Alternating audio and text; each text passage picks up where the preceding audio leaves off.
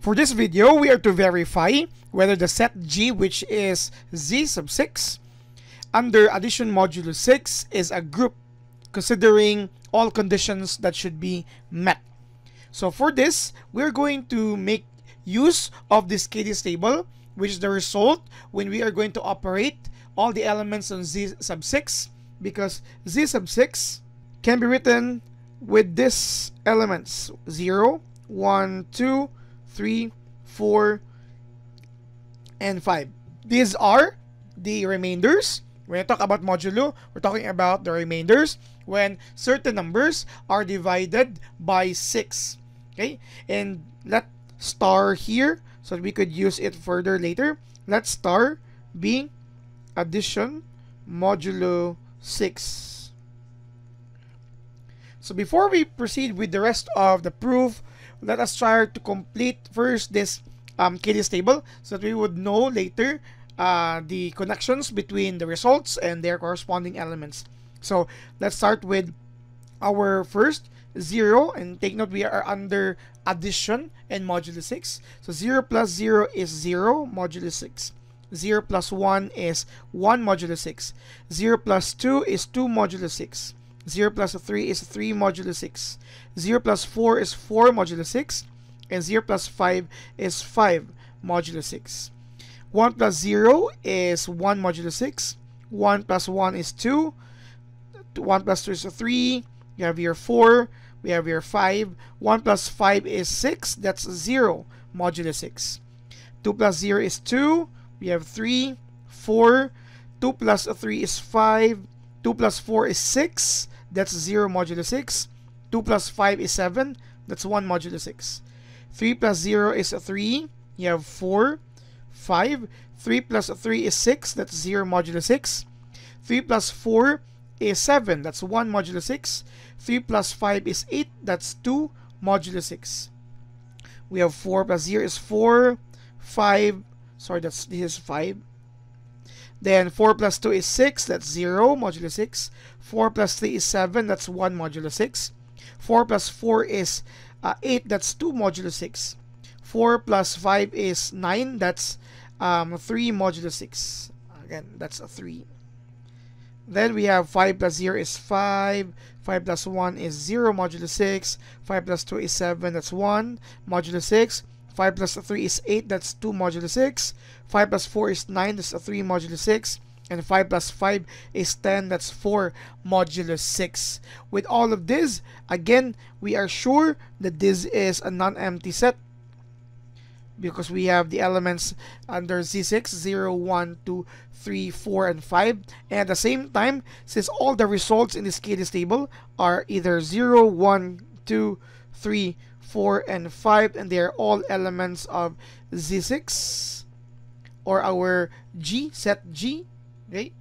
This, this means that the closure property holds for this given operation under this given set. Okay, so with this, let's proceed now to the conditions for a group. Let's start with G sub 1 or G1. Now, G1 talks about the associativity of our star. Uh, star is associative in G. Or again G is Z6 so let's this is the same. This is G okay?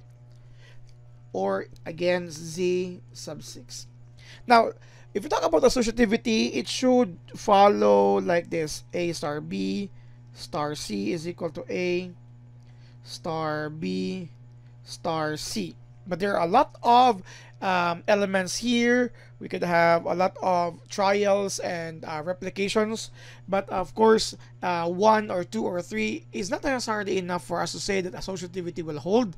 We need to check all. But since um, this is still under addition, and all the elements for Z6 are also integers, so we can invoke here the associativity of integers. So we can say here since um, addition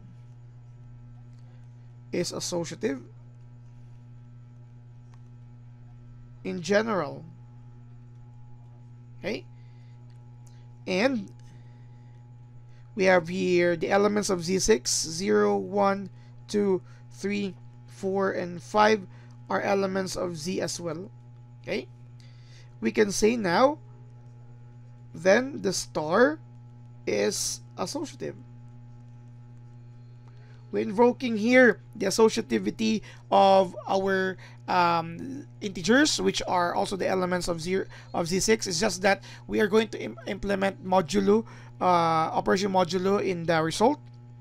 But either way, I guess if it's okay for us to start with this, associative in Z sub 6. Okay? Which is modulo. Okay?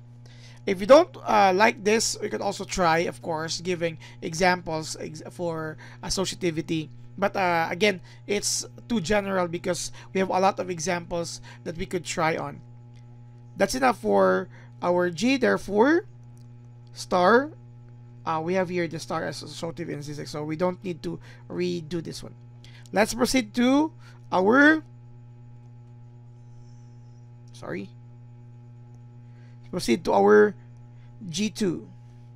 G2 is on the idea of the existence of our identity element.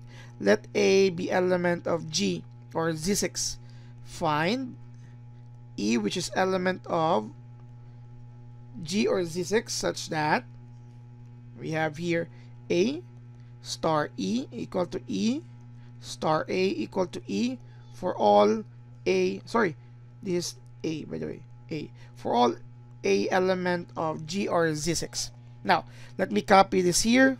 Tried to copy, I tried copying this from last time, but I'm just gonna copy the um, scribbles or the doodles here or the text, which is for red. But let me re-copy here the other operations. So of course this is per star 0, 1, 2, 3, 4, and 5. 0, 1, 2, 3, 4, and 5. So simply look at the Cayley's table. We don't need to uh, what you call this one represent anymore our G2 in um, what you call this one in algebraic form because we already have our examples here because this is a finite set. We can see here the existence of our uh, identity and for addition then identity is actually zero okay so we're going to look at all these zeros here okay so we have here 0, star 0 is zero one star 0 is equal to 0 star 1, which is equal to zero, uh, 1. Sorry, that's 1. Then 2 star 0 is equal to 0, star 2 is 2, 3 star 0 is 0, star 3, that's 3, 4 star 0, 0 star 4 is 4, and 5 star 0 0 star 5 is 5. So we see that all of this returns to their identity if we are going to uh, operate it together with all of this. And what are these? It's just one value, 0. And that's our identity for addition modulo. Our E is 0. And this is actually element of our Z6 or our G. Okay? This would mean that our identity is on the set itself and then G2 is satisfied. Okay, then we go to G3 which will be using the same Cayley's table. So G3 looking for the inverse for all A. So we're going to find the inverse still element of G such that uh, A star E, uh, sorry, inverse, we are now in inverse, is equal to inverse times A equal to our E, which is 0. So, we're going to look at a certain inverse when we multiply, or when we operate rather, when we operate an element, we're going to look for the inverse where the result will become 0. In short, we're going to look at the zeros here. Here's 0, this is 0, 0, 0, 0, 0, your identity element.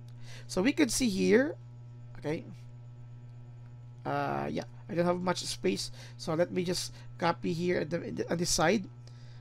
Yeah, or move it here. So for 0, star 0, that's equal to 0, right? For 1, it should be paired with 5. Okay. 1, 5 is also 5 star 1. That's 0. 5 star 1. For 2, its, its pair should be 4. 2 star 4 is 4 star 2. That's 0. And for 3 is 3 itself. Okay. 3 star 3 is equal to 0.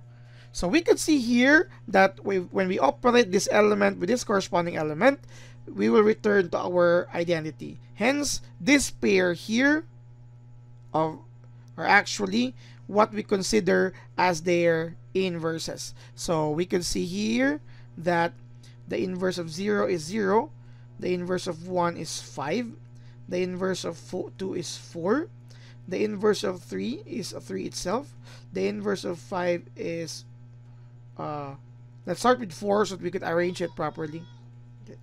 The inverse of 4, sorry, is 2, and the inverse of 5 is 1. And all of this, 0, these values here and here, 5, 4, 3, 2, 1 are still elements of G or Z6. This would mean that G3 is also satisfied.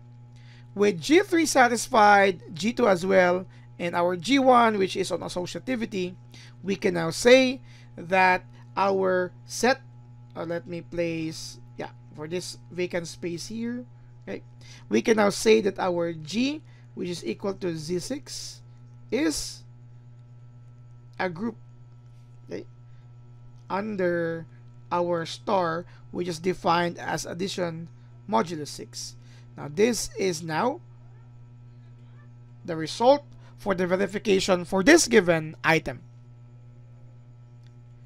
Thank you very much for watching.